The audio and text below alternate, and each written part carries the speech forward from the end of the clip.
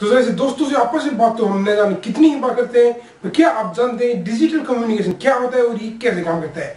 अगर आप इसके बारे में जानना चाहते हैं डिजिटल कम्युनिकेशन क्या होता है तो ये वीडियो देखते रहिए। मेरा नाम निशान चौधरी, आप देख रहे हैं निशान बात। लेट्स स्टार्ट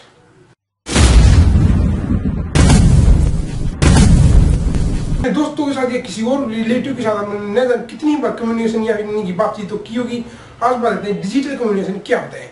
डिजिटल कम्युनिकेशन का मतलब है, आप कोई नहीं, कोई जानकारी दे रहे हैं या फिर उनसे कोई बात कर रहे हैं, वो भी कोई डिजिटल तरीके से, यानी चाहे व्हाट्सअप हो या फिर कोई और वीडियो कॉलिंग है, कोई या वॉइस कॉलिंग या फिर जो आप नॉर्मल कॉलिंग करते हैं, वो।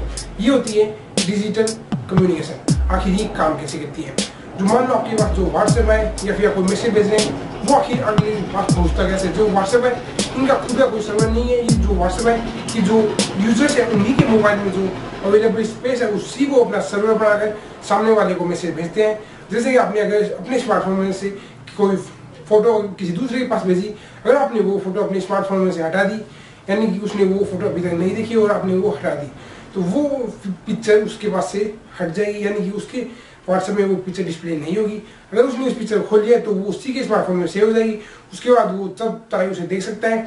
और ये इसलिए क्योंकि व्हाट्सएप खुद का सर्वर नहीं है, मगर किसी और का बात करें, यानी कि फेसबुक मैसेंजर इनका अपना खुद का सर्वर होता है। इसलिए आप इनमें अगर कोई भी मैसेज भेजते हैं तो वो सामने वाले के पास चाहिए आपने उस मैसेज डिलीट कर दिया और सामने वाले के पास वो पहुँच जाता है। और साथ ही साथ अगर देखें, ये वॉइस कॉलिंग या वीडियो कॉलिंग है ये कैसे काम करते हैं? तो वीडियो कॉलिंग इनका भी अपना एक अलग सर्वर होता है। तो वीडियो कॉलिंग के लिए कोई अलग सर्वर काम लिया जाता है, जिसके ज़रिए कि सामने से वीडियो कॉलिंग की जा सकती है।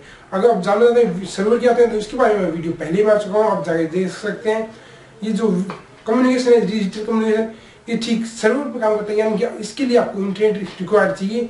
साथ ही साथ अगर अगर आप वॉइस कॉलिंग कर रहे हैं, जिसके में आप जो नॉर्मल कॉलिंग करते हैं, वो उसके लिए आपको इंटरनेट की ज़रूरत नहीं होती, ये सिर्फ़ आपको सीधे जो वायरलेस कम्युनिकेशन होता है, उसी के ज़रिए आपको दूसरे के साथ कनेक्ट करते हैं, जिससे आप उनसे कम्युनिकेशन कर सकते हैं।